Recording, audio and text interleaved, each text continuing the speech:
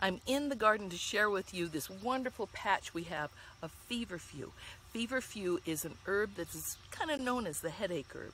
And if it's taken in a tea or another uh, uh, preparation for two to four times a day for two to four weeks or longer, you'd be amazed at how it'll just melt those difficulties you're having with discomfort in the head.